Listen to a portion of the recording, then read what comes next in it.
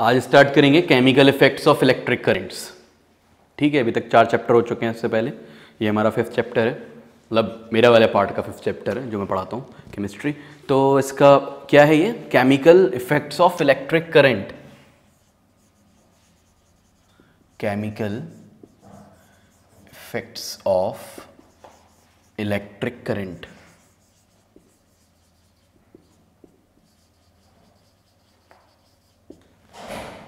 chemical effects of electric current मतलब कि electric current का केमिस्ट्री में क्या यूज़ है, ऐसे कह सकते हो, है ना? या फिर केमिकल रिएक्शंस से किस तरह इलेक्ट्रिसिटी बना सकते हैं?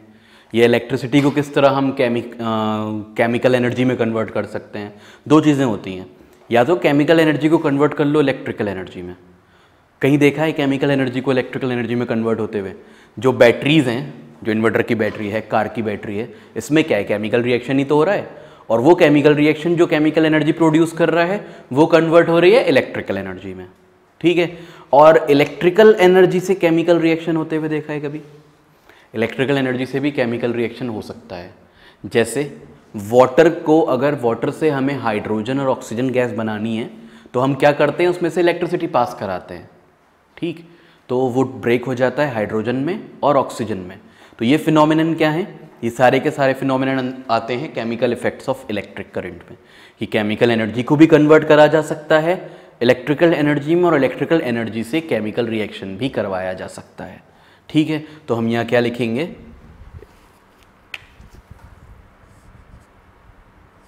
Carrying out chemical reactions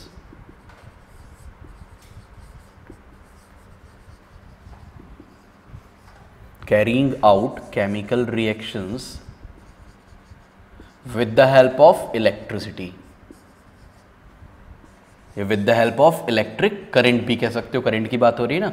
With the help of electric current तो पहला पॉइंट तो इसमें क्या हो गया कि किस तरह अभी हम इतना खैर डिटेल में नहीं पढ़ेंगे कि केमिकल रिएक्शन ये यारा तो पढ़ेंगे इस पर तो एक पॉइंट है भी कि केमिकल रिएक्शन किस तरह से इलेक्ट्रिसिटी की हेल्प से हो सकता है। दूसरा वाला क्या है कि किस आ, कि हम केमिकल एनर्जी को किसी रिएक्शन की कन्वर्ट कर देंगे इलेक्ट्रिकल एनर्जी में। उसके बारे में बहुत थोड़ा सा इंट्रोडक्शन दे रखा है तुम्हारे लेवल पे। क्या इंट्रोडक्शन दे रखा है? जो बैटरीज़ यूज़ होती हैं। बस बैटरीज़ के बारे में थोड़ा सा दिया हुआ है कि ये बैटरीज़ केमिकल एनर्जी को केमिकल रिएक्शन की केमिकल एनर्जी को कन्वर्ट कर देती हैं इलेक्ट्रिकल एनर्जी में। ठीक है? तो हम यहाँ लिखेंगे एनर्जी ऑफ़ केमिकल रिएक्शंस या फिर केमिकल एनर्जी भी बोल सकते हो इसको। तो energy of chemical reactions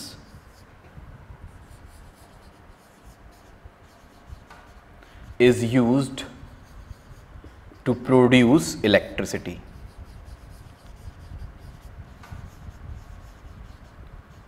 तो दो बातें हो गई भाई chemical effect of electric current में। पहली बात कि इलेक्ट्रिसिटी से केमिकल एनर्जी बना दो, या इलेक्ट्रिसिटी से केमिकल रिएक्शन करवा दो कोई, जो ये पहला पॉइंट लिखा।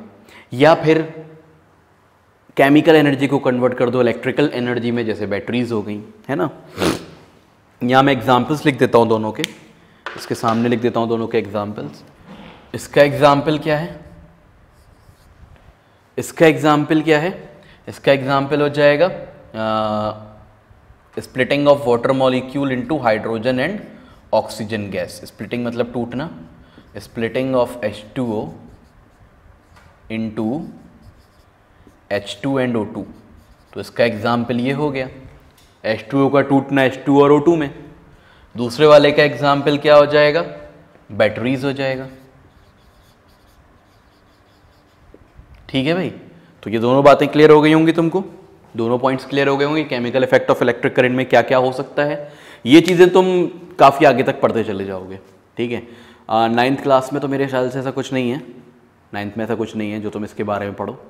टेंथ में टेंथ में थोड़ा बहुत है। हाँ कह सकते हो टेंथ में है। टेंथ में, लेकिन केमिकल इफेक्ट्स नहीं आएँगे। फिर सीधा जाके ट्वेल्थ में ही पढ़ोगे इसको। थोड़ा इलेवंथ में, फिर ट्वेल्थ में। तो इलेवंथ ट्वेल्थ के लिए पढ़ रहे हो अभी तुम। ठीक? तो ये जो चैप्टर है, सीधा जाके कहाँ आएगा? इलेवंथ और ट्वेल्थ में आएगा। इलेवंथ में पता भी नहीं चलेगा ये आ गया। ठीक, क्योंकि चैप्टर नाइन है वहाँ पे। तो ये पार्ट छोड़ दिया जाता है ज़्यादातर उसमें। तो खैर, अभी तो आगे की बातें हैं। इलेवंथ में और फिर ट्वेल्थ में इलेक्ट्रोकेमिस्ट्री के नाम से चैप्टर है। वहाँ पे इसको पढ़ोगे। ठीक है? तो अभी एट्थ के बाद नाइन टेंथ नहीं पढ़ना है, इसलिए इसको बहुत ध्यान से पढ़ लेना। बहुत इंपॉर्टेंट चैप्टर है ये आगे के लिए। क्योंकि यही बेस है इसका, नाइन टेन में कोई बेस नहीं है। फिर इलेवन में जाके एकदम से देखोगे तो थोड़ा परेशानी हो सकती है। इसलिए जो भी बेसिक चीज़ें, बहुत आसान चीज़ें, मुश्किल कुछ नहीं है तुम्हारे लेवल पे। और वो आसान चीज़ें अगर पढ़ लोगे तो आगे आसानी होगी। ठीक है तो अब यहाँ पे जो बात करेंगे हम, वो बात करेंगे कि कंडक्टर्स और इंसुलेटर्स की। या good conductors of electricity conductors of electricity की बात करते हैं, इंसुलेटर छोड़ते हैं, कि इलेक्ट्रिसिटी कंडक्ट जो कंडक्टर्स करते हैं, जो भी चीज़ें इलेक्ट्रिसिटी कंडक्ट करती हैं, वो कंडक्टर्स कहलाती हैं। ठीक है? ये कंडक्टर्स दो टाइप के होते हैं। एक ऐसे कंडक्टर्स होते हैं जो फ्री इलेक्ट्रॉन्स की वजह से इलेक्ट्रिसिटी कंडक्ट करते हैं, जिन्हें हम मेटल्स बोलते हैं। मेटल्स एंड नॉन मेटल्स में एक बात मैंने करी थी कि metals are good conductors of electricity देखो, सारे चैप्टर्स इंटर रिलेटेड होते हैं। कोई ना कोई बात पीछे की रिपीट हो जाती है बाद वाले चैप्टर में। इसलिए ध्यान से चीज़ों को पढ़ लिया करो।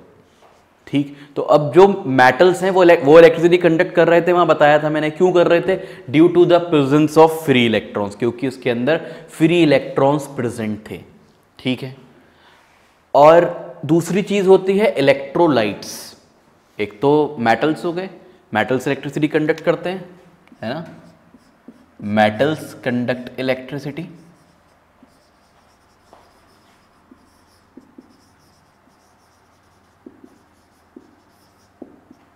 due to the presence of free electrons तो फ्री इलेक्ट्रॉन्स की प्रेजेंस की वजह से जो मेटल्स हैं वो इलेक्ट्रिसिटी कंडक्ट करते हैं, है ना? और इसमें एग्ज़ाम्पल में हम क्या ले सकते हैं? कॉपर ले सकते हैं C U is copper aluminium ले सकते हैं ए एल ठीक है? एटसेट्रा इस दोनों ही मेटल्स जो हैं, बहुत अच्छे कंडक्टर हैं इलेक्ट्रिसिटी के. कॉपर की वायरिंग हमारे घर में यूज़ होती है. एल्यूमिनियम वायर्स ओवरहेड वायरिंग के लिए यूज़ होते हैं, मैं बता चुका हूँ इस बात को. दोनों ही बातें ये डिस्कस हो चुकी हैं. ठीक है? अब इसमें देखते हैं कुछ मेटल्स के बारे में. तुम्हारे यहाँ दे रखा है कि नहीं दे रखा? या मेटल्स के बारे में क्या क्या दे रखा है तुम्हारे यहाँ? बस इतना ही दिया है कि कंडक्टर होते हैं भाई। कैसे पता लगाओगे कोई चीज़ कंडक्टर है या नहीं है? एक टेस्टर ले लो, ठीक है? या मतलब वायर ले लो एक तो पहले, ठीक है? वायर को उस, जैसे एल्यूमिनियम की कोई चीज़ है। एल्यूमिनियम के उस पर लपेट दिया, है ना? और उससे कनेक्ट कर दिया एक बैटरी से वायर को, ठीक? एक बैटरी से कनेक्ट करा वायर को और फिर उसको एक हिस्सा उसका कनेक्ट कर दिया, एक बल्ब से। एलईडी बल्ब ले लो एलईडी बल्ब से कनेक्ट कर दिया, ठीक है? तो वो और एक एक तार बैटरी से निकला हुआ एलईडी बल्ब ने लगा दिया। अगर बल्ब ग्लो कर रहा है, अगर बल्ब ग्लो करता है तो इसका क्या मतलब है कि ये जो आयरन का टुकड़ा है, ये कंडक्टर है। बल्ब डायरेक्टली ग्लो भी कर सकता है। बैटरी है एक तार इधर लगाया एक तार मतलब सेल जो आता है, एक तार इधर लगाया एक इधर लगाया और बैटरी में उसके मतलब बल्ब जो है वह ग्लो कर जाएगा ऐसे। लेकिन इससे क्या फ़ायदा? हमें कुछ हमको टेस्ट कर ही नहीं पाए। कि डायरेक्ट लगा के टेस्ट कर लिया। डायरेक्ट नहीं लगाना है उसको उसको हम क्या करते हैं? उसका दो वायर होंगे उसमें बल्ब में। एक वायर को किसी लोहे के उस पर लपेट देते हैं। लोहे के एल्यूमिनियम के जिसको भी तुम आ, देखना चाह रहे हो कि ये कंडक्ट करता है इलेक्ट्रिसिटी या नहीं उस पर तुमने उसे लपेट दिया। ठीक है? और तो देखोगे कि इलेक्ट्रिसिटी उसमें कंडक्ट हो रही है। बल्ब जल रहा है। अगर बल्ब जल रहा है तो इलेक्ट्रिसिटी कंडक्ट कर रहा है। अगर बल्ब नहीं जल रहा कोई ऐसी चीज़ होगी जो कंडक्ट नहीं करेगी। तो इसका मतलब है कि इलेक्ट्रिसिटी कंडक्ट नहीं करता, वो कंडक्टर नहीं है पुअर कंडक्टर है। ऐसा भी हो सकता है कुछ चीज़ें गुड कंडक्टर होती हैं, कुछ चीज़ें पुअर कंडक्टर होती हैं। गुड कंडक्टर का क्या मतलब है कि ज़्यादा इलेक्ट्रिसिटी कंडक्ट कराती हैं अपने अंदर से? पुअर कंडक्टर का मतलब है ज़्यादा इलेक्ट्रिसिटी कंडक्ट नहीं कराती। गुड कंडक्टर्स जैसे ये एल्यूमिनियम कॉपर जो हैं गुड कंडक्टर्स हैं। अगर तुम इस पर वायर लपेट के और उसके बाद उसको ट्रांसफ़र कराओगे तो बल्ब जो है बहुत अच्छे से ग्लो करेगा, क्योंकि बहुत अच्छे कंडक्टर्स हैं। लेकिन ऐसे कोई ज़्यादा अच्छा कंडक्टर नहीं लिया। तो वो ग्लो नहीं करेगा अच्छे से। ठीक है तो इतनी कोई इसमें बात नहीं थी। इसके बाद फिर नेक्स्ट है electrolytes second is electrolytes electrolytes किसे बोलते हैं? इलेक्ट्रोलाइट्स हमारे एसिड्स भी हो सकते हैं। Acids bases and salts class seventh में चैप्टर था एक। तो एसिड्स भी इलेक्ट्रोलाइट्स हो सकते हैं बेसिस भी इलेक्ट्रोलाइट्स हो सकते हैं, और सॉल्ट्स भी इलेक्ट्रोलाइट्स हो सकते हैं। जो भी चीज़ें आयंस में ब्रेक हो सकती हैं। इलेक्ट्रो ये जो मेटल्स से इलेक्ट्रिसिटी कंडक्ट कर रहे थे due to the presence of free electrons electrolytes electricity conduct करते हैं due to the presence of ions ठीक है? तो ऐसे लिक्विड्स ज़्यादातर लिक्विड्स ही होते हैं, ऐसे लिक्विड्स जो आयंस में ब्रेक हो सकते हैं, वो इलेक्ट्रोलाइट्स कहलाते हैं। ठीक है? The liquids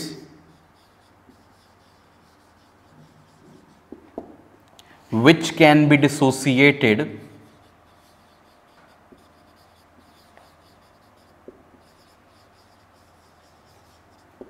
into ions are called electrolytes क्या कहलाते हैं? इलेक्ट्रोलाइट्स कहलाते हैं, जो लिक्विड्स डिसोसिएट हो सकते हैं आयंस में। उनको हम इलेक्ट्रोलाइट्स बोलते हैं और ये आयंस के प्रेजेंस की वजह से ही इलेक्ट्रिसिटी कंडक्ट करते हैं। They conduct electricity due to the presence of ions ठीक है? तो हम यहाँ पे ये बात लिख सकते हैं। कंडक्ट इलेक्ट्रिसिटी वो जो थे मेटल्स फ्री इलेक्ट्रॉन्स की वजह से कर रहे थे। ये इलेक्ट्रिसिटी कंडक्ट कर रहे हैं due to the presence of ions due to presence of ions ions के प्रेजेंस की वजह से ये इलेक्ट्रिसिटी कंडक्ट करते हैं। ठीक है? तो ये पॉइंट्स लिख लेना कि किसमें आयंस की वजह से इलेक्ट्रिसिटी कंडक्ट हो रही है और किसमें फ्री इलेक्ट्रॉन्स की वजह से हो रही है। तो ये दोनों कंडक्टर्स थे। मेटल्स और इलेक्ट्रोलाइट्स दो टाइप के होते हैं। ठीक है? मेटल्स भी होते हैं और इलेक्ट्रोलाइट्स भी होते हैं। अब ये इनका कंडक्शन हो गया। इसके बाद आगे आते हैं। और क्या है इसमें? तुम्हारे देखना पड़ती हैं चीज़ें क्या क्या दे रखा है, क्या नहीं दे रखा, ज़्यादा पढ़ा दूँगा तो वो दिक्कत हो जाएगी, कम रह जाएगा तो दिक्कत हो जाएगी। ठीक है तो अब देखो एग्ज़ाम्पल ले लेते हैं इसमें थोड़ा इलेक्ट्रोलाइट्स के। एग्ज़ाम्पल ऑफ़ इलेक्ट्रोलाइट्स देख लेते हैं।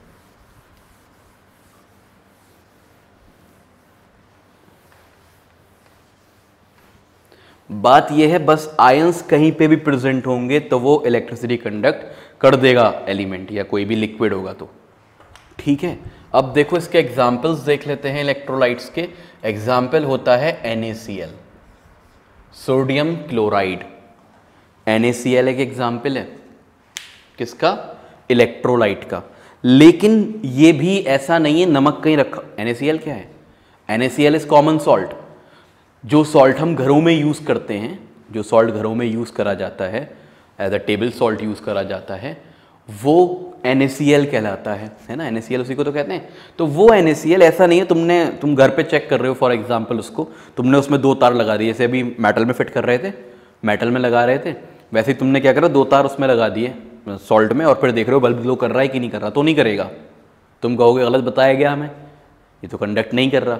तो भाई वो ऐसे ही कंडक्ट नहीं करता, जब तक आयंस में ब्रेक नहीं होगा, तब तक कंडक्ट नहीं करेगा इलेक्ट्रिसिटी सॉलिड स्टेट में हम यहाँ लिख सकते हैं in solid state it does not conduct electricity in solid state it does not conduct electricity किसकी बात हो रही है? NaCl की हो रही है। कि सॉलिड स्टेट में इलेक्ट्रिसिटी कंडक्ट नहीं करता। तो फिर क्यों हम इसको इलेक्ट्रोलाइट्स बोल रहे हैं भाई? इलेक्ट्रोलाइट क्यों बोल रहे हैं इसको? इलेक्ट्रोलाइट इसलिए बोल रहे हैं क्योंकि अगर ये आयन में ब्रेक हो गया तो इलेक्ट्रिसिटी कंडक्ट कर देगा। और ये आयंस में कब ब्रेक होता है? जब ये मोल्टेन स्टेट में आता है, जब इसको पिघलाया जाता है। या तो पिघलाया जाएगा, या फिर इसका एक्वस सॉल्यूशन बनाया जाएगा। ठीक है? तो हम यहाँ लिख सकते हैं इन मोल्टेन स्टेट मोल्टेन मतलब पिघला हुआ। हिंदी में लिख लेना चाहो तो। इन मोल्टेन स्टेट और एक्वस स्टेट या एक्वस फॉर्म एक्वस फॉर्म का क्या मतलब है? इन वाटर जब इसे हम वाटर में मिला देंगे ऐड कर देंगे वाटर के अंदर. अगर हम इसको वाटर के अंदर ऐड कर देंगे it breaks into ions it breaks into ions and conduct electricity तो आयंस में ब्रेक होके इलेक्ट्रिसिटी कंडक्ट करता है ये। जब मोल्टेन स्टेट में आता है या फिर पानी में मिलाया जाता है, तब इलेक्ट्रिसिटी कंडक्ट करता है ये। ठीक है? अच्छा यहाँ तक, यहाँ पे ये बात समझ में आ गई होगी। एक और चीज़ है कि अगर हम ऐसे ही डिस्टिल्ड वाटर को देखें डिस्टिल्ड वाटर जो कि डिस्टिलेशन से मिलता है है ना? तो डिस्टिल वाटर रेन वाटर जो होता है, वो भी डिस्टिल वाटर होता है। ठीक है? लेकिन यहाँ हम रेन वाटर की बात नहीं कर रहे। यहाँ हम उस डिस्टिल वाटर की बात कर रहे हैं जो लेबोरेटरीज में रखा होता है। अगर कभी लैब में गए हो तो वहाँ डिस्टिल वाटर रखा होगा। ठीक है डिस्टिलेशन के प्रोसेस से मिलता है वो हमको। मतलब कि इम्प्योर वाटर है टैप वाटर उसको हमने बॉयल करा। बॉयल करा तो वाटर ऊपर उड़ गया इम्प्योरिटीज सारी नीचे रह गई। ऊपर उड़ गया मास्टर्स को कंडेंस करके अलग कर लिया। तो ये जो वाटर निकलता है, वो डिस्टिल वाटर होता है। एसी का जो पानी निकलता है एसी में से जो वाटर निकलता है, वो डिस्टिल वाटर होता है। वो कभी इलेक्ट्रिसिटी कंडक्ट नहीं करेगा। तो डिस्टिल वाटर कभी भी इलेक्ट्रिसिटी कंडक्ट नहीं करेगा। क्यों नहीं करेगा? क्योंकि उसके अंदर कोई मिनरल ही नहीं है। कोई इलेक्ट्रोलाइट ही प्रेजेंट नहीं है उसके अंदर डिस्टिल वाटर के अंदर। और जो रेन वाटर होता है है तो वो भी डिस्टिल्ड लेकिन उसमें इलेक्ट्रोलाइट्स प्रेजेंट होते हैं। कोई ना कोई मिनरल उसके अंदर रहता है।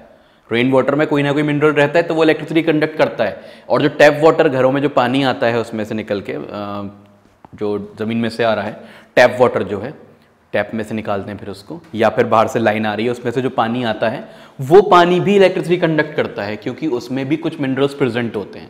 तो डिस्टिल वाटर इलेक्ट्रिसिटी कंडक्ट नहीं करेगा, क्योंकि उसमें मिनरल्स नहीं है।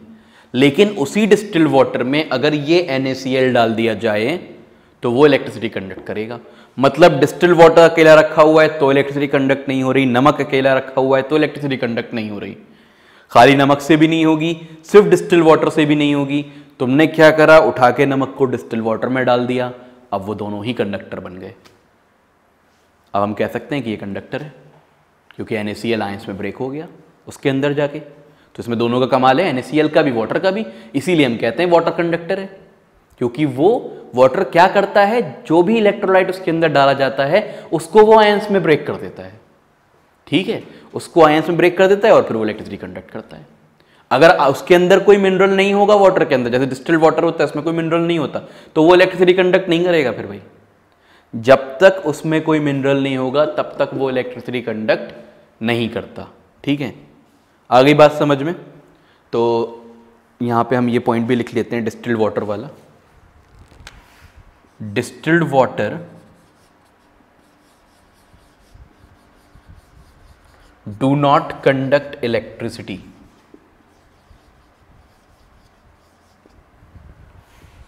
तो डिस्टिल्ड वाटर इलेक्ट्रिसिटी कंडक्ट नहीं करता, क्यों नहीं करता? Due to absence of minerals. Minerals नहीं होंगे तो आयंस नहीं बनेंगे।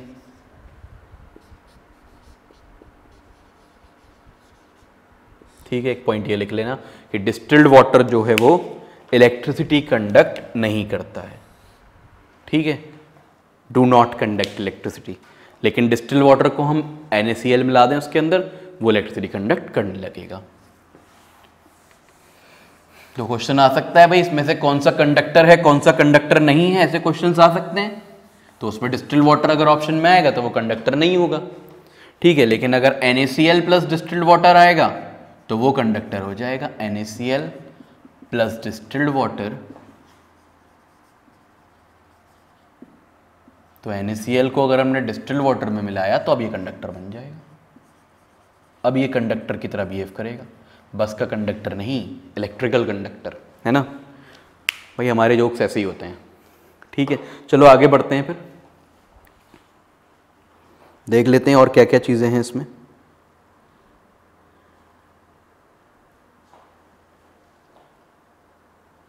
तो जो ये इलेक्ट्रोलाइट्स हैं इलेक्ट्रोलाइट्स में एक और पॉइंट लिख लो कि इलेक्ट्रोलाइट्स कंप्राइजेस ऑफ़ इलेक्ट्रोलाइट्स क्या क्या हो सकते हैं? सिर्फ़ सॉल्ट्स ही नहीं होते हैं। एसिड्स भी हो सकते हैं, मैंने बताया था, ये बात मैं लिखवाना भूल गया। कंप्राइजेज ऑफ़ एसिड्स एसिड्स भी तो आयंस में ब्रेक हो सकते हैं एच प्लस आयंस में। इसीलिए वो इलेक्ट्रिसिटी कंडक्ट करते हैं। एसिड्स बेसिस एंड सॉल्ट्स तो एसिड्स भी होते हैं इलेक्ट्रोलाइट्स बेसिस भी होते हैं और सॉल्ट्स भी होते हैं और ये सभी इलेक्ट्रिसिटी कंडक्ट करते हैं। एसिड भी इलेक्ट्रिसिटी कंडक्ट करेगा बेस भी इलेक्ट्रिसिटी कंडक्ट करेगा सॉल्ट भी करेगा। लेकिन कब करेगा? जब आयन में ब्रेक होगा। ड्राई एच गैस कंडक्ट नहीं करती इलेक्ट्रिसिटी एक और पॉइंट लिख लो। Dry H gas do not conduct electricity H क्या है? एच एक एसिड है हाइड्रोक्लोरिक एसिड वो जो आ, मतलब ओरिजिनली होता है वो गैस की फॉर्म में होता है एच गैस होता है. तो जब वो एच गैस की फॉर्म में होता है तो इलेक्ट्रिसिटी कंडक्ट नहीं करता. क्योंकि अभी वो वाटर में नहीं मिला है और जब तक वाटर में नहीं मिलेगा तब तक आयंस में नहीं ब्रेक होगा है ना? Do not conduct electricity as in absence of water क्यों नहीं करता? क्योंकि वाटर की एब्सेंस में as an absence of water it do not break into ions क्योंकि ये आयंस में ब्रेक नहीं हो सकता। और जब तक कोई चीज़ आयंस में ब्रेक नहीं होगी, तब तक वो इलेक्ट्रिसिटी कंडक्ट नहीं करेगी। आयंस क्या होते हैं?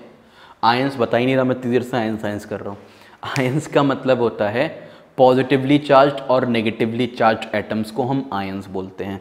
चाहो तो इस बात को कहीं लिख लो कि जो पॉजिटिवली चार्ज एटम्स होते हैं और नेगेटिवली चार्ज एटम्स होते हैं, वो आयंस कहलाते हैं। जैसे Na plus N A C L जो ब्रेक होता है ना, वो Na प्लस और Cl माइनस में ब्रेक होता है। तो Na प्लस एक पॉजिटिव आयन है, Cl माइनस एक नेगेटिव आयन है। तो आयन क्या है? चार्ज एटम्स को हम आयंस बोलते हैं। इलेक्ट्रिकली चार्ज एटम्स जब चार्ज होगा इसके ऊपर तो इलेक्ट्रिसिटी कंडक्ट भी करेगा। इलेक्ट्रिकली चार्ज्ड एटम्स को आयंस बोला जाता है। ठीक है? तो आयंस क्या है? इलेक्ट्रिकली चार्ज्ड एटम्स है। इलेक्ट्रिकली चार्ज एटम्स को हम आयंस बोलते हैं। ठीक है? आ रही होगी बात समझ में?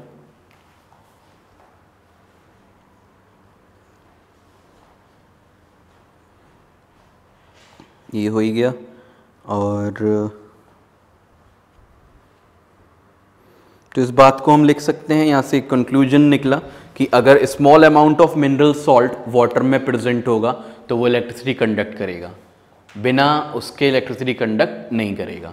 अगर स्मॉल अमाउंट भी आ जाएगा मिनरल का वाटर के अंदर तो वो इलेक्ट्रिसिटी कंडक्ट करने लगेगा। ठीक है? तो इसको स्टार बना के इस बात को लिख लेना।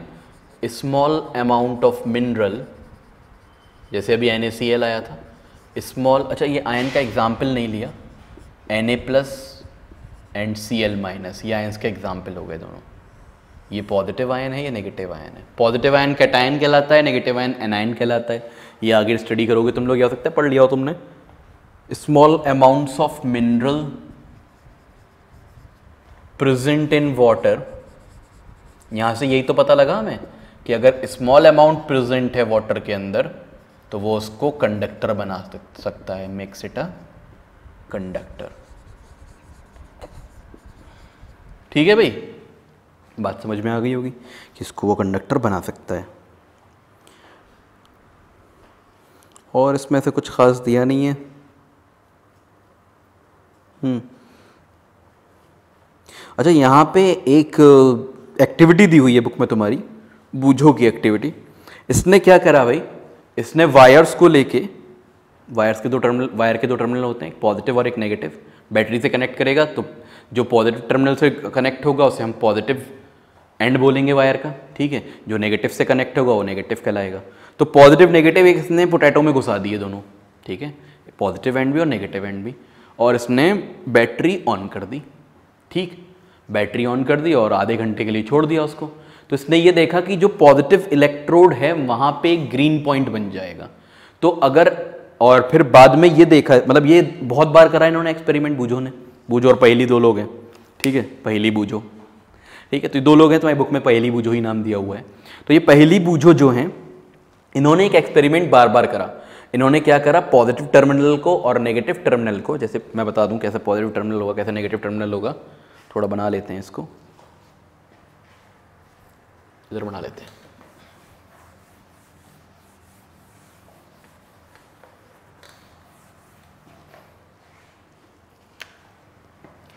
बैटरी को इस तरह से शो करा जाता है। ठीक है, ये नेगेटिव होता है, ये पॉजिटिव छोटा वाला नेगेटिव बड़ा वाला पॉजिटिव ठीक है तो अब ये जो इस तरह से है, बैटरी से कनेक्टेड है ये, है ना? ये वायर सारे हैं बैटरी से कनेक्टेड यहाँ इसने ये आलू रख दिया, काट के। इस पोटैटो में इसने दोनों एंड्स को इस तरह से इंसर्ट कर दिया। बैटरी का स्विच ऑन है स्विच लगा देते हैं यहाँ पे। फॉर एग्जांपल ये स्विच है, ये ऑन है, इसका मतलब होता है स्विच ऑन है। ठीक, इधर ये पॉजिटिव टर्मिनल है, ये नेगेटिव कला है क्योंकि नेगेटिव की तरफ़ से आ रहा है। हाँ तो अब इन्होंने ये देखा कि यहाँ पे ग्रीन स्पॉट बन गया। ग्रीन से तो मैंने ये बना लिया। ठीक है, यहाँ पे इन्होंने ये देखा कि एक ग्रीन स्पॉट बन गया। ठीक है इस पॉइंट पे एक ग्रीन स्पॉट क्रिएट हो गया।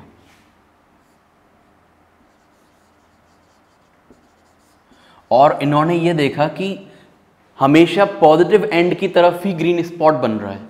तो इन्होंने कहा, अगर हमें किसी का पॉजिटिव एंड पता करना है, किसी भी वायर का पॉजिटिव एंड पता करना है तो हम इस एक्टिविटी से कर सकते हैं पोटैटो वाली एक्टिविटी से। पोटैटो में दोनों वायर को घुसा दो। जहाँ पे ग्रीन होल क्रिएट हो जाए ग्रीन स्पॉट क्रिएट हो जाए वो हमारा क्या होगा? पॉजिटिव पॉइंट होगा। ठीक है? पॉजिटिव पोल होगा या?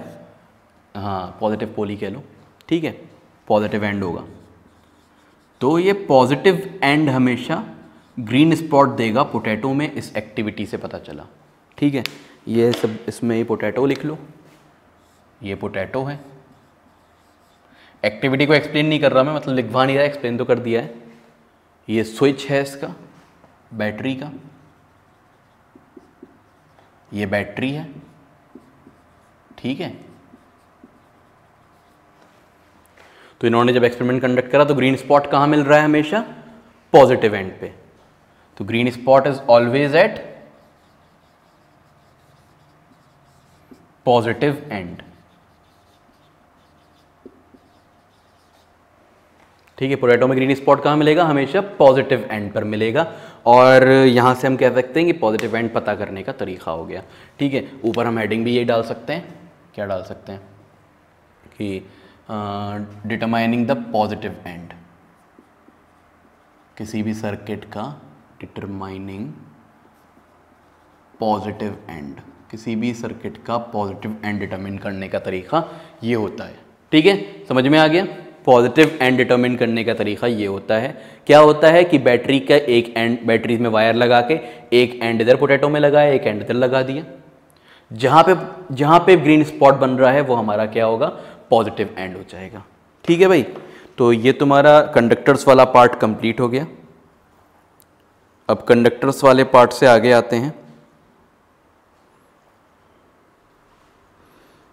आ, थोड़े से कुछ फिनोमिना देख लेते हैं जो आ, मतलब कि कैम इलेक्ट्रिसिटी से होते हैं केमिकल रिएक्शंस ऐसे केमिकल रिएक्शंस जो इलेक्ट्रिसिटी से होते हैं। और ये तो बता ही दिया कि केमिकल रिएक्शन से इलेक्ट्रिसिटी कैसे प्रोड्यूस होती है बैटरी से होती है है ना? तो ये देख लेते हैं कुछ केमिकल फिनोमिना जो कि इलेक्ट्रिकल करंट से कैरी आउट करे जा सकते हैं। ठीक? ठीक है इसे मैं रब कर रहा हूँ।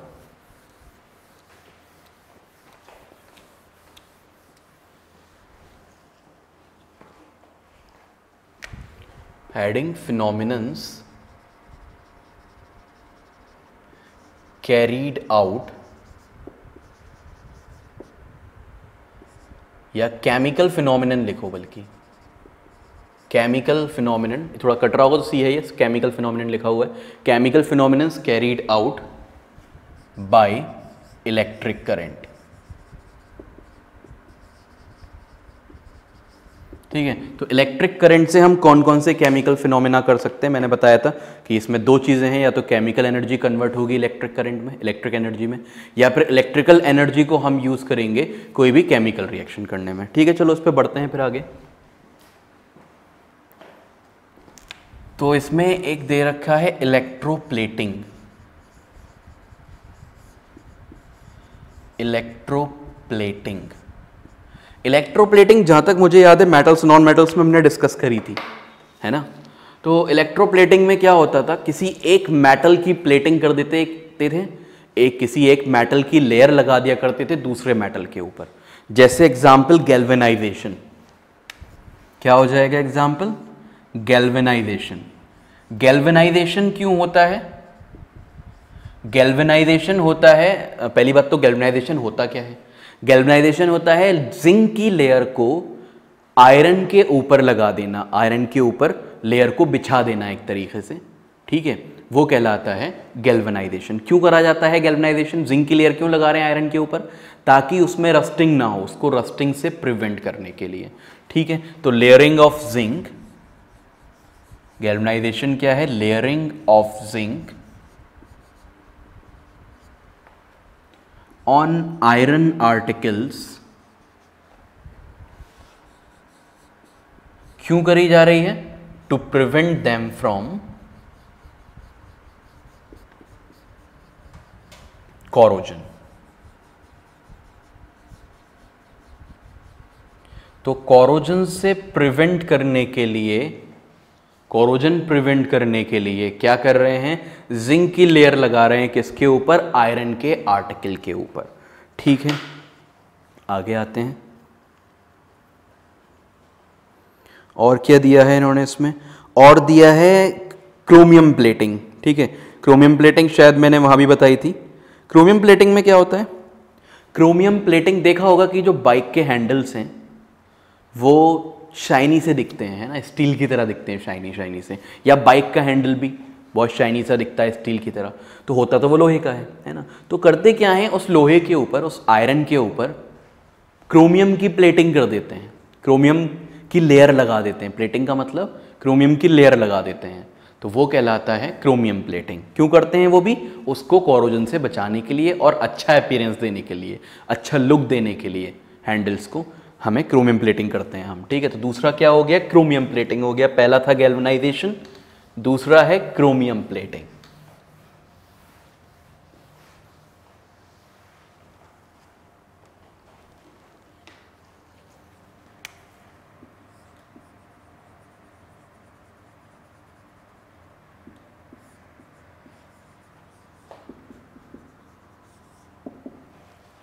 क्रोमियम प्लेटिंग ठीक है? तो क्रोमियम प्लेटिंग में क्या कर रहे हैं? Applying the layer of chromium chromium metal है एक। जैसे जिंक मेटल है, वैसे ही क्रोमियम भी मेटल है। ठीक है? ट्वेंटी फोर्थ नंबर पे आता है पीरियडिक टेबल में, जो क्रोमियम मेटल है हमारा। तो layering of chromium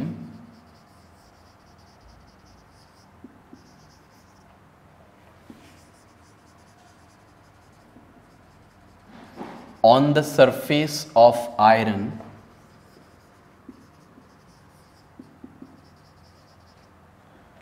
to give it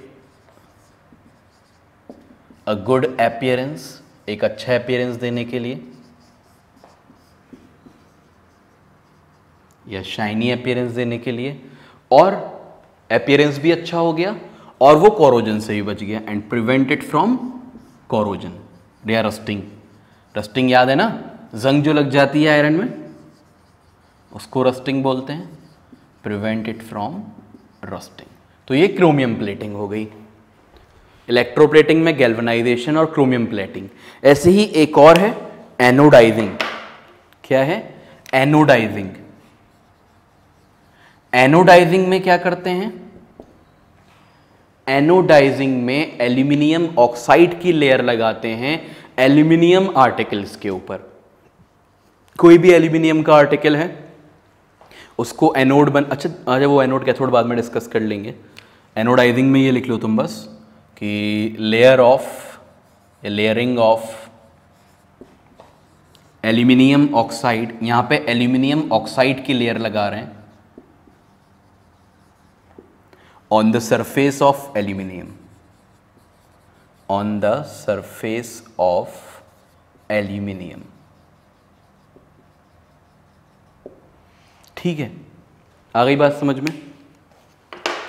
aluminium की सरफेस पे एल्यूमिनियम ऑक्साइड की लेयरिंग कर देना एनोडाइजिंग कहलाता है। तो ये हमने तीन पढ़ लिया। एक गैल्वेनाइजेशन क्रोमियम प्लेटिंग और एनोडाइजिंग ये तीन चीज़ें। अभी और भी हैं जिसमें हम इलेक्ट्रिसिटी का यूज़ करेंगे केमिकल रिएक्शंस करने के लिए। इसमें ही एक चीज़ होती है रिफाइनिंग ऑफ़ कॉपर है वो भी इलेक्ट्रोप्लेटिंग की तरह, क्योंकि वहाँ पे हम कॉपर के ऊपर ही कॉपर बिछा रहे हैं। अब कॉपर पे कॉपर क्यों बिछा रहे हैं? अभी पता करते हैं कॉपर पे कॉपर क्यों बिछा रहे हैं। तो रिफाइनिंग ऑफ़ कॉपर भी इसी में आता है। ठीक है? तो रिफाइनिंग ऑफ़ कॉपर देख लेते हैं इसके बाद।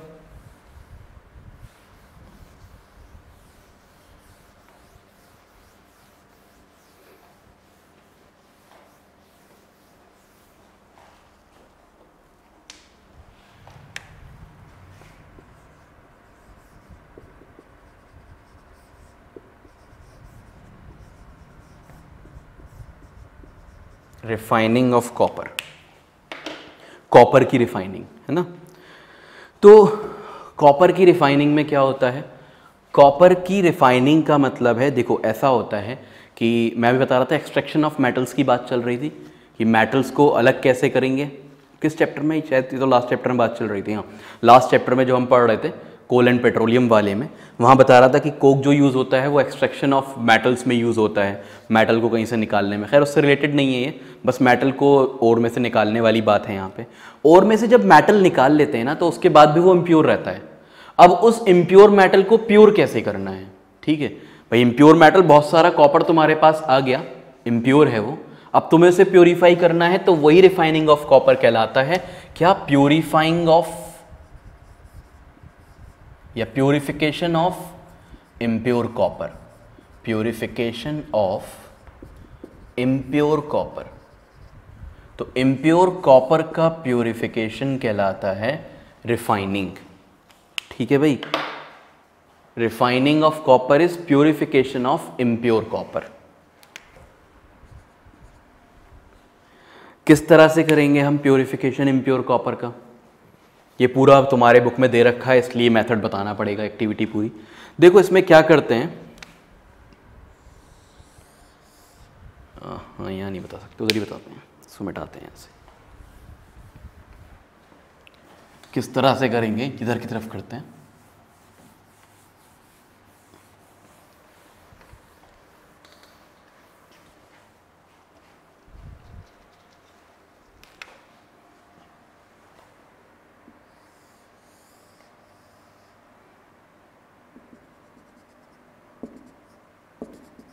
ये एक कंटेनर टाइप का है, जिसमें हमने, अब हम कॉपर की रिफाइनिंग कर रहे हैं तो कॉपर सल्फेट फिल कर लेते हैं इसमें। क्या फिल कर लेते हैं?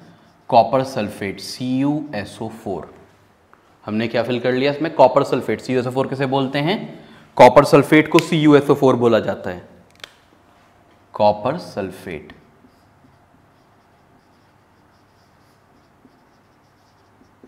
ठीक है?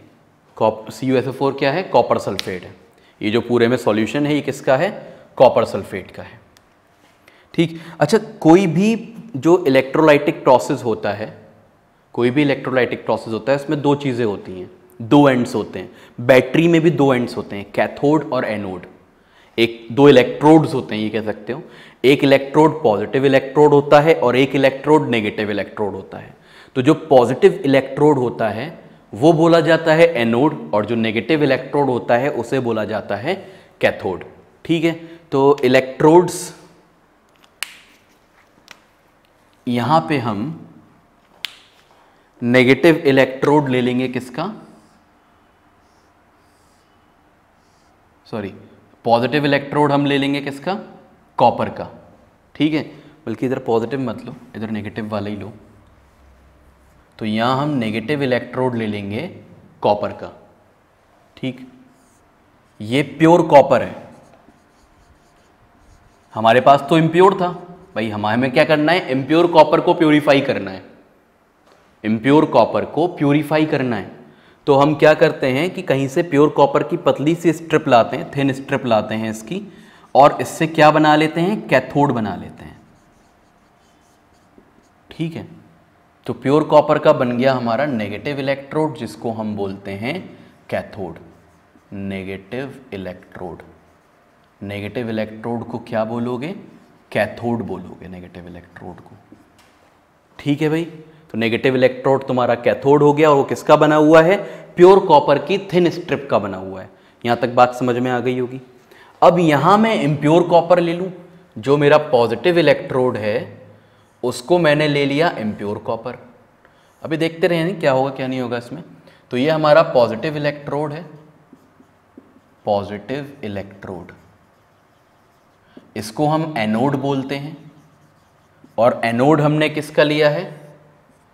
इम्प्योर कॉपर का। जो हमें इम्प्योर कॉपर मिला था एक्सट्रैक्शन ऑफ़ मेटल से, वो इम्प्योर कॉपर का लिया है हमने एनोड ठीक है? इसको ज़रा इलेक्ट्रोलाइट को दोबारा से बना देते हैं। ये जो तुम्हारा इलेक्ट्रोलाइट बनाया था कॉपर सल्फेट ये जो फिल करा है लिक्विड ये क्या है? इलेक्ट्रोलाइट है हम कॉपर सल्फेट बोलते हैं। ठीक है कॉपर सल्फेट किसकी तरह यूज़ हो रहा है यहाँ? इलेक्ट्रोलाइट की तरह। इलेक्ट्रोलाइट क्या होते हैं? जो आयंस में ब्रेक हो जाते हैं इलेक्ट्रिसिटी पास करने से। ठीक है, ये हमारा नेगेटिव इलेक्ट्रोड है भाई। ये यहाँ से बैटरी से कनेक्ट होगा। नेगेटिव पार्ट से। जो नेगेटिव इलेक्ट्रोड होता है, वो नेगेटिव पार्ट से कनेक्ट होता है। जो पॉजिटिव इलेक्ट्रोड होता है, वो पॉजिटिव पार्ट से कनेक्ट होता है। ये कनेक्ट हो गया किससे? पॉजिटिव पार्ट से। ठीक है? तो इसे हमने पॉजिटिव से कनेक्ट कर दिया। क्योंकि एनोड वाला पॉजिटिव से ही कनेक्ट होगा, ये बैटरी है हमारी। ठीक है? अब देखो, अब ये तो हमारा पूरा सेटअप हो गया। तो सेटअप में क्या क्या है? सेटअप में एक नेगेटिव इलेक्ट्रोड है, एक पॉजिटिव इलेक्ट्रोड है। और उसके ये जो कंटेनर है, उसके अंदर एक सॉल्यूशन भरा हुआ है, जिसको हम इलेक्ट्रोलाइट बोल रहे हैं। और ये बैटरी है। ये क्या है हमारी? ये बैटरी है।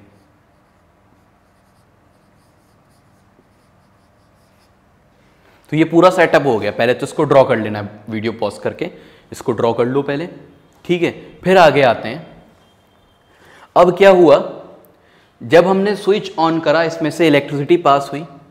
इलेक्ट्रिसिटी पास हुई तो ये जो कॉपर सल्फेट था अंदर, इसमें C U two plus ions में ब्रेक हो गया ये और एसओ फोर टू माइनस में ब्रेक हो गया। C U two plus SO four two minus C U two plus SO four two minus copper sulphate है तो सी यू टू प्लस और एसओ फोर माइनस आयंस में ये break हो गया। कॉपर सल्फेट जब इसमें हमने इलेक्ट्रिसिटी पास कराई। वैसे भी सॉल्यूशन जो होता है किसी भी चीज़ का तो वो ब्रेक हो जाता है आयंस में। तो यहाँ कॉपर के आयंस थे और सल्फेट के आयंस थे। अब ये जो कॉपर के आयंस होते हैं ना, ये जाके चुपक जाते हैं, क्योंकि पॉजिटिव है ये। पॉजिटिव है ना? तो ये जाके चुपक जाते हैं किस पे? इस कैथोड पे। कैथोड होता है नेगेटिव कैथोड नेगेटिव है। तो ये जाके पॉजिटिव आयंस कहाँ चुपक जाएँगे सारे? इस कैथोड पे।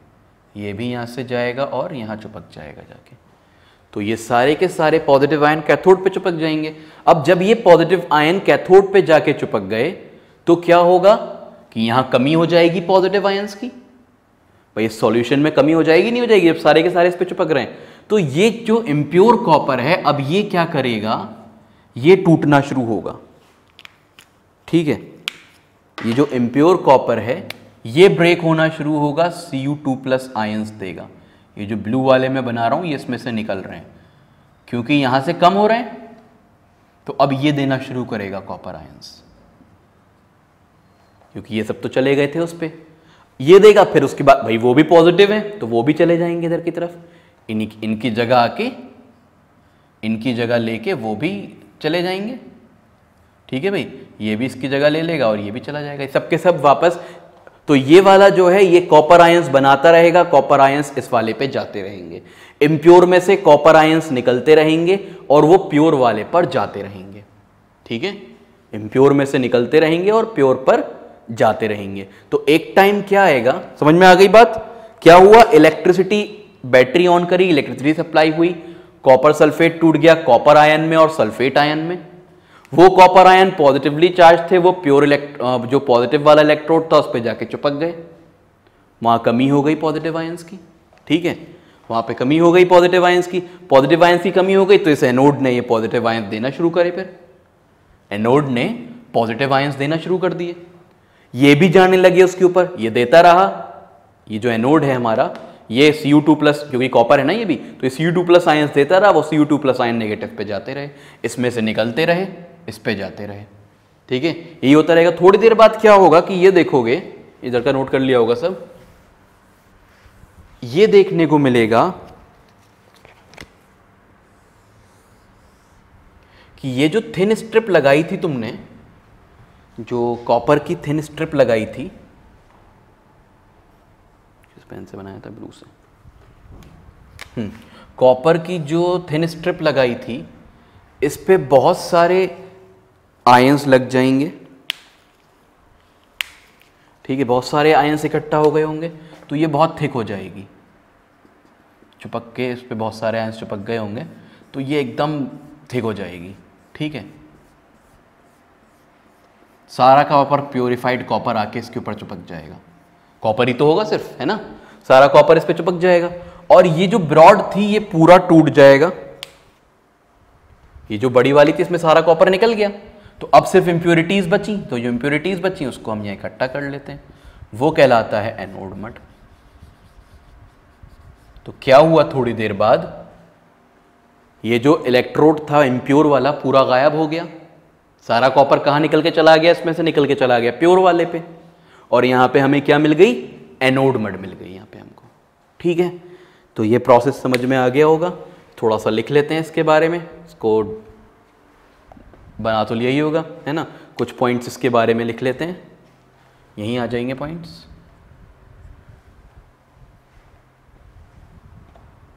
copper sulphate is an electrolyte copper sulphate को इलेक्ट्रोलाइट की तरह लिया है।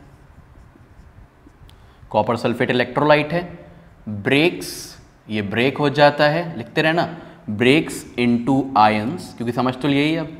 ब्रेक्स इनटू आयंस कौन कौन से ions C U two plus and SO four two minus ions ठीक है?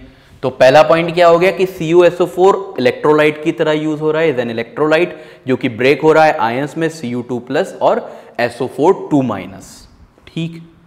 Pure copper is cathode pure copper को हमने क्या ले लिया है? प्योर कॉपर को कैथोड की तरह ले लिया है. प्योर कॉपर कैथोड की तरह ले लिया. ठीक है? यानी कि पॉजिटिव इलेक्ट्रोड ये पॉजिटिव लिखा है मैंने पॉजिटिव इलेक्ट्रोड ठीक? पॉजिटिव इलेक्ट्रोड तो जो C U two plus ions हैं C U two plus ions are moving are sticking लिख लो बल्कि, चुपक जाते हैं जाके are sticking to cathode cathode पे जाके चुपक रहे हैं, जो C U two plus ions है, ठीक है? फिर last point impure C U impure C U is anode उसको हमने एनोड सॉरी नेगेटिव था ये। नेगेटिव लिखना है यहाँ पे। वो नेगेटिव तो लिया था हमने वाला कैथोड जो था। तो impure C U is an elect is an anode उसको हमने एनोड मान लिया। यानी कि पॉजिटिव इलेक्ट्रोड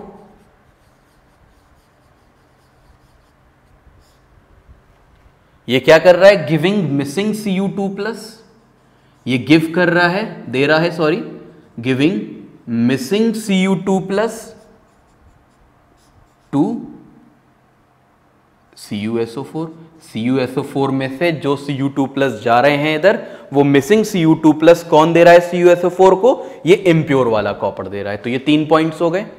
ठीक है? ये तीन पॉइंट्स हो गए. पहला पॉइंट क्या था? कॉपर सल्फेट इलेक्ट्रोलाइट की तरह यूज़ हो रहा है. और वो आयंस में ब्रेक हो रहा है सी यू प्लस और एसओ फोर टू माइनस में। प्योर कॉपर कैथोड है यहाँ पे, जिसको हम नेगेटिव इलेक्ट्रोड कह रहे हैं। और इस पर क्या हो रहा है, जो जो C U two plus ions हैं, वो जाके स्टिक हो जा रहे हैं कैथोड पे। और इम्प्योर कॉपर एनोड है, जो कि पॉजिटिव इलेक्ट्रोड है। ये क्या ये क्या काम कर रहा है, ये मिसिंग कॉपर आयंस को missing C U two plus supply कर रहा है C U S O four को।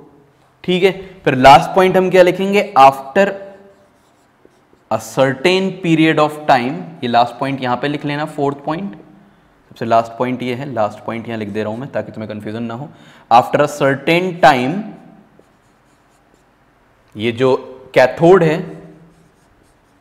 कैथोड रॉड कैथोड की जो रॉड है बिकम्स थिकर थिक हो जाती है and anode rod vanishes anode की रॉड जो है वो वैनिश हो जाती है गायब हो जाती है। क्योंकि सारा कॉपर निकल गया उसमें से, इसलिए वैनिशेस वैनिश हो जाती है। एंड इंप्योरिटीज और इंप्योरिटीज रह जाती हैं। And impurities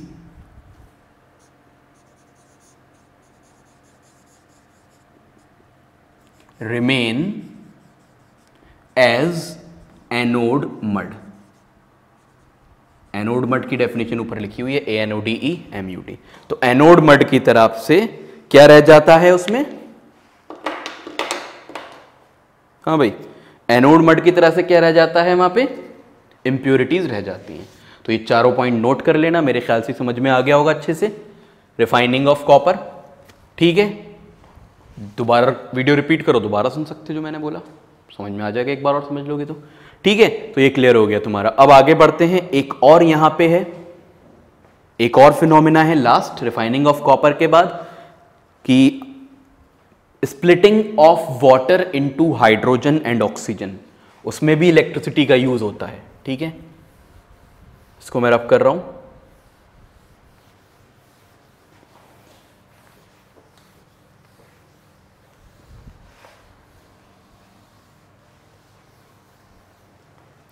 Splitting of water in hydrogen gas and oxygen gas ठीक है?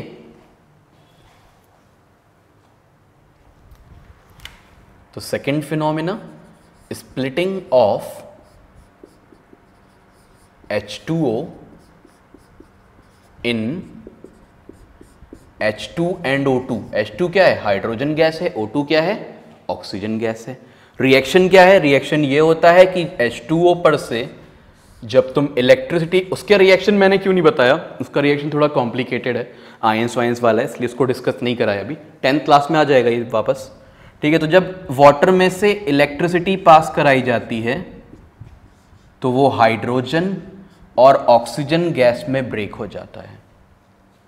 अभी कैथोड एनोड तुमने पढ़ लिया। ठीक है तो कैथोड पे बनती है हाइड्रोजन गैस, यानी कि नेगेटिव इलेक्ट्रोड पे हाइड्रोजन गैस बनती है। सब एनसीईआरटी में लिखा हुआ है तुम्हारी। और एनोड, यानी कि पॉजिटिव इलेक्ट्रोड पर ऑक्सीजन गैस बनती है। तो पॉजिटिव इलेक्ट्रोड पे ऑक्सीजन गैस बनती है और नेगेटिव इलेक्ट्रोड पे हाइड्रोजन गैस बनती है। ठीक है? इतनी बात समझ में आ गई होगी। अब इसमें इसको भी थोड़ा सा डायग्राम बना के देख लेते हैं इसका। क्या होता है इसमें?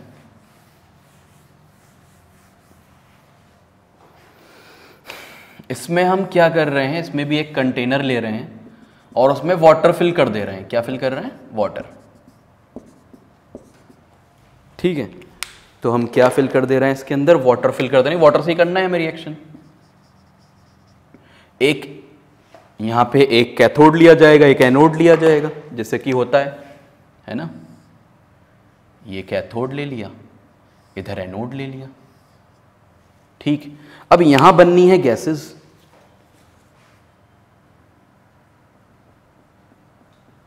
ठीक है, अब जो यहाँ गैसेस बननी है तो वो गैसेस उड़ सकती हैं, वो गैसेस उड़ सकती हैं। तो क्या करेंगे, वो गैसेस ना उड़े उसके लिए टेस्ट ट्यूब लगा देंगे इसके ऊपर। एक टेस्ट ट्यूब यहाँ लगा देंगे, और और एक टेस्ट ट्यूब यहाँ लगा देंगे। ठीक है भाई? दो टेस्ट ट्यूब लगा दिए हमने इसके ऊपर, ताकि वो गैसेस उड़े ना। और ये कनेक्ट कर दिया इसको यहाँ बैटरी से।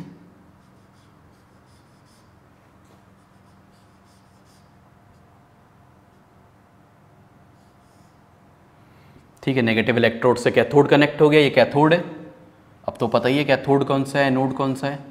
कैथोड नेगेटिव होता है नेगेटिव इलेक्ट्रोड और एनोड होता है पॉजिटिव इलेक्ट्रोड अभी बताया था।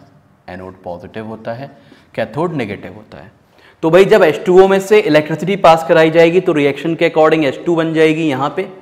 यहाँ हाइड्रोजन गैस बन जाएगी, और यहाँ पे एनोड पे ऑक्सीजन गैस बन जाएगी, इसमें बबल्स की फॉर्म में। तुमको मिल जाएगी अंदर। ठीक है? ये तुम्हारा हो गया formation of water with the help of formation of hydrogen and oxygen from water with the help of electricity हम क्या पढ़ रहे थे? सम कॉमन फिनोमिना जिसमें इलेक्ट्रिसिटी यूज़ होती हो। ठीक है? अच्छा यहाँ पे एक और चीज़ है कि हाइड्रोजन ज़्यादा प्रोड्यूस होगी ऑक्सीजन के। ठीक है? अमाउंट ऑफ़ हाइड्रोजन प्रोड्यूस्ड इस पॉइंट को लिख लेना स्टार बना के। Amount of two gas produced hydrogen gas produced is twice the amount of oxygen gas तो हाइड्रोजन गैस जो बनेगी, उसका अमाउंट डबल होगा ऑक्सीजन गैस के अमाउंट के। ठीक है, यहाँ तक ये समझ में आ गया होगा। तो और तो कुछ नहीं है इसमें, देख लेते हैं। मेरे ख्याल से चैप्टर ही ख़त्म हो गया है तुम्हारा। हम्म। यहाँ पे ये कह रहे हैं, जो इलेक्ट्रोप्लेटिंग की फैक्ट्रीज होती हैं तो उनका जो मतलब एंड में जो बच जाता है जो भी चीज़ें मतलब क्या कहते हैं वेस्ट जो बच जाता है, उसको डिस्पोज करने के लिए कुछ ना कुछ गाइडलाइंस होती हैं। तो उन गाइडलाइंस को फॉलो करने के लिए उस वेस्ट को डिस्पोज करना चाहिए। ये सब बातें इंपॉर्टेंट है एनवायरमेंट के लिए, इसलिए बताना भी ज़रूरी होती हैं।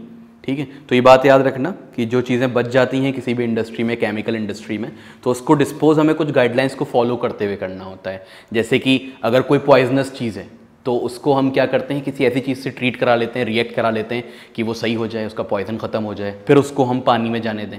वरना पानी ख़राब होगा। और अगर उसको हम जला के बाहर निकाल देंगे, चिमनी से भी बहुत सारे वेस्ट मटेरियल निकलते हैं। तो चिमनी से कहाँ जा रहे हैं? वो एयर में जा रहे हैं, जो एयर हम इनहेल करेंगे उसमें। ठीक है? तो उस एयर में भी सही चीज़ें जानी चाहिए, ख़राब नहीं जानी चाहिए। मतलब ऐसा नहीं है कि पानी में नहीं बहा पा रहे तो उड़ा दें ऊपर। तो ये भी नहीं कर सकते। तो इसलिए ट्रीटमेंट बहुत ज़रूरी होता है। वेस्ट को निकालने से पहले उसका ट्रीटमेंट बहुत ज़रूरी होता है। ठीक है? चलो ठीक है चैप्टर में इतना ही रखते हैं। और केमिस्ट्री वाला पार्ट कंप्लीट हो गया है। चलो फिर।